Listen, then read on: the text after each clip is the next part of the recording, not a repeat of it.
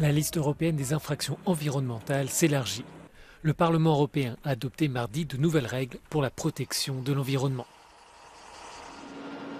Cette nouvelle liste de crimes environnementaux comprend le commerce illégal du bois, l'épuisement des ressources en eau ou encore la pollution causée par les navires. Le texte veut aussi lutter contre les violations graves de la législation européenne sur les substances chimiques et punir ainsi les entreprises qui déversent des substances polluantes. I think we have to stop these behaviors uh, just to make extra money. They they pollute or make people sick, and I think that should that's a crime. I think so. It's good that we introduce this now as a minimum harmonized criminal law in Europe, and even it's possible to take uh, CEOs responsible if the company is misbehaving.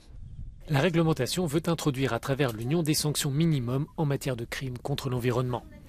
Les entreprises pourront se voir infliger des amendes s'élevant de 3 à 5% de leur chiffre d'affaires mondial annuel. Les personnes risqueront jusqu'à 10 ans d'emprisonnement.